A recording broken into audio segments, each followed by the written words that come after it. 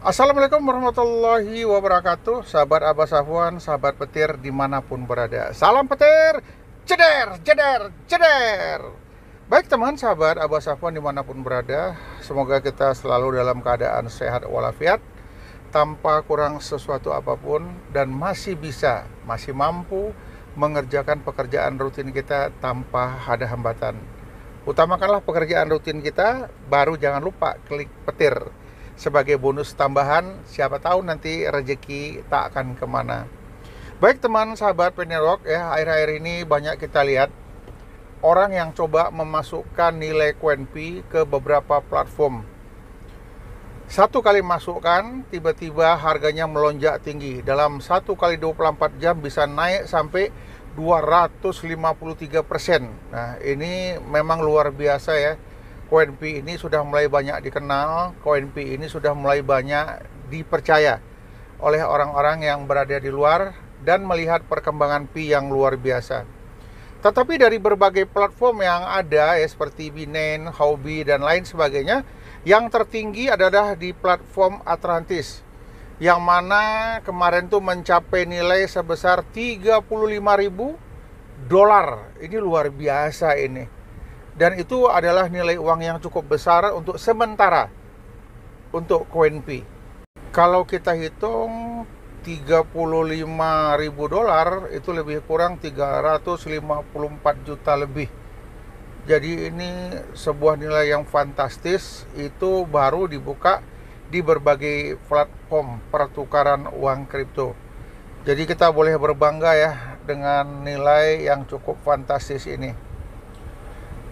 Kemudian ingatlah bahwa dikutip dalam laman ya. Dikutip dalam halaman Yungwei kemarin melaporkan penurunan harga koin yang signifikan 1 Januari di platform Atlantis Exchange. Token mengalami lonjakan luar biasa pada hari yang berikutnya yang sama dengan diperdagangkan tadi yang saya sebutkan 35.000 dolar ya.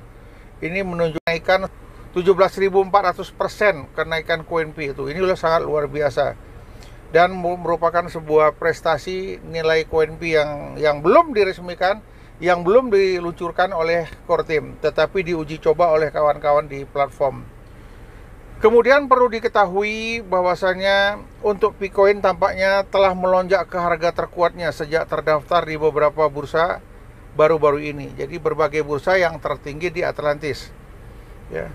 Kemudian Pay Network adalah cryptocurrency baru dan platform pengembang yang memungkinkan pengguna seluler untuk menambang token ini tanpa mengurangi baterai dan perangkat.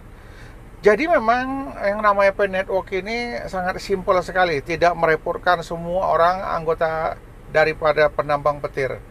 Kenapa nambang cukup menggunakan handphone? Kemudian dalam penyimpanan dompet walletnya masih menggunakan handphone. Dalam belanja untuk bertransaksi nantinya juga menggunakan handphone jadi kepada teman sahabat penetwork di mana pun berada, tetap jaga koin P kita, jangan sampai hilang percuma. Jadi kalau ada bujuk rayu orang untuk melakukan penukaran ya, seperti yang sekarang ini, ditukar di exchange yang ada itu masih belum diperbolehkan oleh core team, oleh Nicholas. Seandainya kita melakukan pertukaran juga, siap resiko kita diblokir. Jadi teman-teman jika ada yang berani melakukan penukaran koin P dengan uang fiat, siap-siap diblokir oleh Pay Network, oleh Kortim dan Nicholas. Jadi mereka menginginkan kita tetap menjaga KWNP kita. Kenapa tidak boleh diadakan penukaran saat ini? Karena dikhawatirkan nilainya rendah. Jadi nilai KWNP nanti pada saat diluncurkan cukup tinggi dan wajar secara logika nantinya. Jadi berbanggalah teman-teman yang sudah melakukan penambangan petir Kemudian teman-teman yang tetap bersabar, yang masih bisa menyimpan koinnya dengan tidak menghambur-hamburkannya, simpan koin P kita baik-baik karena nantinya akan berharga cukup tinggi. Jadi pernah dikatakan oleh Cheng Diofian, ya itu 10 koin P bisa menghidupi dua generasi keluarga kita. Jadi bayangkan satu koin P itu berapa harganya. Dan saya yakin harga satu koin P melebihi nilai-nilai kripto yang ada jadi berbanggalah kita yang telah memiliki koin P tersebut. Perserikatan Bangsa-Bangsa Departemen Keuangan AS telah mendaftarkan Atlantis di exchange secara resmi sebagai salah satu dari sedikitnya platform perdagangan yang inovatif dan dapat dipercaya. Jadi Atlantis Exchange ini sudah mulai dapat dipercaya oleh Perserikatan Bangsa-Bangsa. Jadi dengan dibuatnya tadi harga 35.000 itulah harga tes awal tetapi bukan datangnya dari Kortim, dari orang yang di luar Kortim. Jadi teman sahabat P Network eh, di mana pun berada, ikutin terus perkembangan-perkembangan yang ada tentang P Network ini. Jangan terpengaruh oleh omongan-omongan orang yang tidak jelas. Jadi kalau ada kaum nyinyir dan yang sejenisnya bebek dungu dan lain sebagainya, ini tidak usah diopeni. Ya, saya juga sudah banyak mengalami hasil daripada konten video saya yang selalu dikomentari orang. Ya, mungkin dilihat mereka banyak penonton daripada video saya, mereka ingin coba mengambil video saya, mereka gunakan dengan harapan nanti banyak penonton di tempat mereka. Jadi kalau kita terpengaruh oleh bebek-bebek dungu, orang-orang nyinyir, maka kita tidak akan pernah berkembang. Jika kita mau berkembang, ya kita tetap sabar, terus mencari informasi yang terbaik. Dalam mencari informasi, tidak menggunakan satu sumber informasi tetapi dalam berbagai sumber informasi.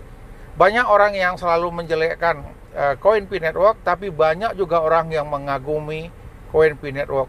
Marilah sama-sama kita berdiri di orang-orang yang mengagumi.